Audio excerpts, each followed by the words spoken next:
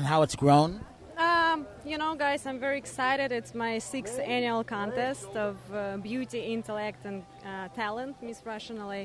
So it's growing to the big show. You can see, right? So I'm very excited. As a founder, I'm very excited. Did you know how big it was going to grow when you came up with the concept? And talk about that. I always believed that it's going to be very big. So I knew it. What can we expect tonight?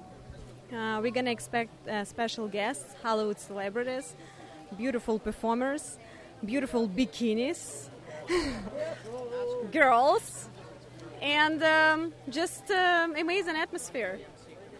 Can you give us a social media context how to reach out, Miss America? Of course, I will. Not now.